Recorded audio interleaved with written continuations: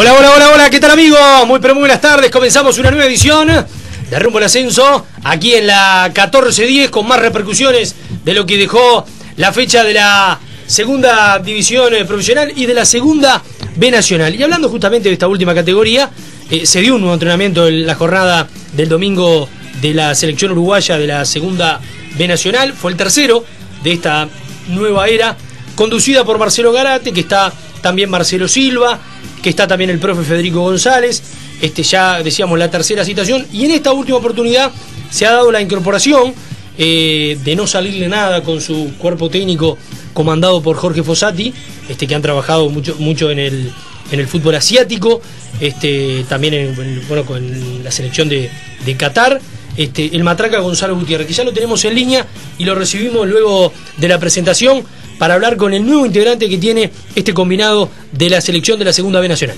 Es una presentación de Cortiluz, venta, reparación y service de cortinas de enrollar, 2 401 41 88. Está Ramón Villa en la puesta al aire, está Carolina Sempolis en la producción y ya tengo a, decíamos, a Gonzalo Gutiérrez con nosotros. ¿Cómo andás, Gonzalo? ¿Cómo andás, Martín? ¿Todo bien? Bien, ¿y vos? Bien, bárbaro, espectacular. Buenas tardes para todos. Bueno, me alegro. Igualmente para, para vos y bueno, contanos cómo, este, cómo se dio esta, esta posibilidad que decíamos está atado a, ante el hecho de que no, no haya ninguna salida, por eso se, se- se esperaste un poco para, para esta designación que ya había se había dado la invitación de justamente del técnico de Marcelo Garate, ¿no? Sí, con Marcelo tenemos una, una amistad de muchos años, ya somos casi como hermanos, Sí. porque nos conocemos de muy chiquitos. Y él de- desde un principio me, me había invitado a, a estar en el cuerpo técnico, a que, aportara lo mío y, y como había algunas cosas ahí, tenía que hablar también con Jorge y eso, se fue demorando un poco y ahora y ahora lo concretamos. Ahí está. Eh, bueno, justamente decíamos fue en el, en el tercer entrenamiento que, que estuviste. Una divisional que no te tiene desvinculado este, del todo eh, por de- del barrio de donde sos, por lo que decías también, esa, esa comunión con, con Marcelo te ha llevado también muchas veces a, a- verlo en, algún campeonato de la, de la vieja C. A, justamente a Garate eh, y bueno y uno también te, te gusta también el tema de los entrenamientos de, de los equipos de, de más abajo y has visto también algún partido que otro Sí, sí, siempre estuve en, en contacto, yo soy aire puro ahí, siempre siempre que podía, que no se daba se daba el, el jugar, mismo cuando estaba jugando acá en Danubio y eso, eh, los partidos que podía iba a ver a la luz o algún otro equipo que, que tuviera Marcelo y entonces siempre estuve al tanto, ni que hablar que en los últimos años eh, he estado más en el exterior que acá, Claro. pero siempre que estuve acá, como soy un apasionado al fútbol en general, trato de estar al tanto de todo y ni que hablar en la, divisional de ascenso, porque siempre uno tiene algún conocido, ¿no? Claro, eh, va- varias charlas que hemos tenido, eh, recuerdo en una de ellas, vos estuviste en un combinado de la, de la selección de la, de la segunda división en ese momento, y sabés más o menos cómo, cómo se, se ve esto, cómo cuando un equipo que no, no está la, la, la chance errónea de que pueda pasar con este combinado, de viajar al exterior, cómo se toma ¿no? un, un seleccionado a pesar de que sea de la, de la segunda división, la importancia que toma eso. Sí, absolutamente. Eh, yo fui invitado por una selección de, de la B a jugar un torneo en Europa y, y la buena actuación que tuve me abrió la puerta de ser citado a la selección principal después, ¿no? Y Claro. pude jugar un sudamericano y todo. Eh, antes, en- por lo menos en este en ese periodo anterior, no había sido citado y después de, una buena actuación ahí, estaba Wander también, fui Seba Gurio, fui yo, creo que estuvo Wilson Martirena en la preselección y alguno más de los que habíamos eh, resaltado en la selección de la B, pasamos a, la selección principal y alguno de ellos, Seba Gurin y yo, fuimos al sudamericano, ¿no? Claro, lo, de tamaña importancia ¿no? que, que, que- que toma justamente eh, eso. ¿Qué, ¿Con qué te encontraste el domingo en este primer entrenamiento para vos? Seguramente ya en lo, previo este Marcelo te, había dado como un puntillazo de lo que era. Son los jugadores que quedaron afuera de, de, la liguilla y también afuera de... Se abrió un periodo de pases especial que fue eh, con los equipos que habían quedado afuera que se sumaran a estos ocho que están en la pelea del, del clausura de esta liguilla. Eh, o sea que se encontraron con jugadores que venían eh, falta de fútbol, que se encontraron también con jugadores que venían, obviamente, la desmotivación de quedar afuera de, esto, eh, lo que es también el tema ya laboral, o sea, dejar la parte eh, futbolística, la parte de actividad deportiva, dejarla de lado.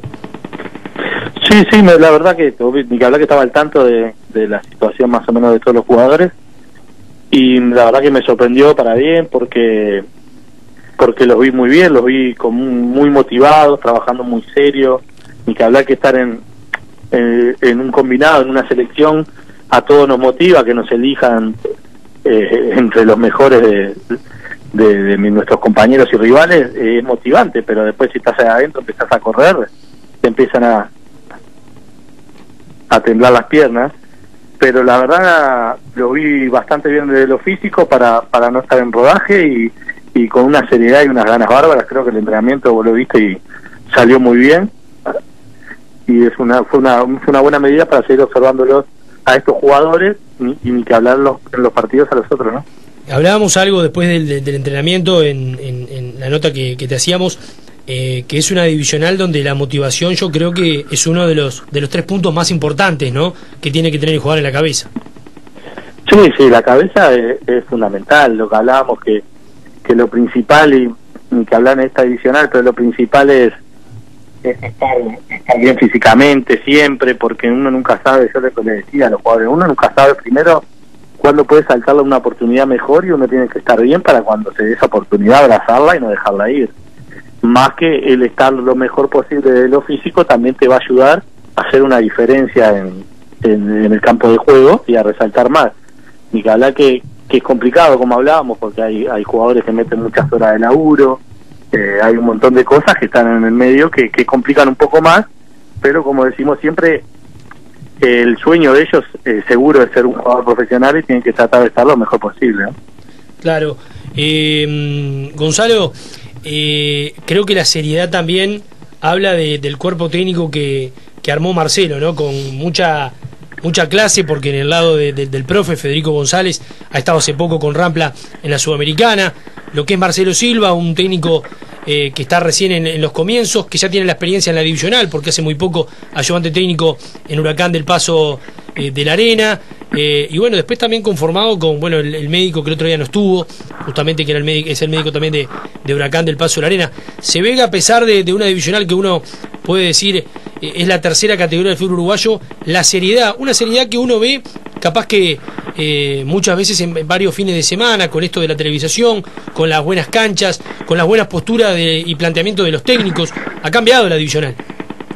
Sí, sí, de hoy la verdad que el, entrenamiento no faltaba nada, fue un entrenamiento, como decir, muy serio, de todo punto de vista, y, está bueno que, que de a poco los equipos vayan mejorando, que la divisional vaya mejorando, todavía falta un montón, ¿no? Estamos muy lejos en un montón de cosas, y más si nos comparamos con, con el exterior, pero pero buenísimo que, la cosa vaya mejorando. Ojalá que, en un futuro se puedan mejorar un poco más también los pisos, que, que eso van a, va, a ayudar a que haya mejor espectáculo y que los jugadores puedan mostrar más sus habilidades, ¿no? El hecho de haber estado en, en varios países, bueno, acompañado por eh, por Jorge, si bien te une un, lazo familiar, me imagino que se le ha sacado provecho del conocimiento eh, de, la, vasta trayectoria que, que, tiene Fossati, tus experiencias en los clubes, tus comienzos en, eh, en Danubio, donde yo siempre digo lo mismo, siempre hablo con algunos jugadores que lo, lo importante, y eso es lo que hablamos de la cabeza, es cuando vos salís de un equipo donde te dan todo, pero después te llega un momento donde tenés que, cuando te vas a préstamo, que te ha pasado a vos, te vas a préstamo a algunos equipos donde capaz que no tenía las mismas comodidades y ahí es donde uno tiene que centrar bien la, cabeza, ¿no? Porque vas a ver que, la, la, realidad de tu nacimiento, eh, de tu surgir en el fútbol, no es el mismo de, de muchos jugadores que tenías de compañeros en esa, en esta plantilla. Sí, sí, eh, eso siempre hablamos, ¿no? Que hay jugadores que que el golpe de, enfrentarse a otra realidad les, termina perjudicando en su carrera deportiva, como también pasa que, cuando te toca irte al exterior, el, el encontrarte con, con mejores condiciones casi en cualquier parte te, te, da otra otra motivación y otra y por algo también resaltan mucho los jugadores en diferentes lugares, ¿no? Claro, claro.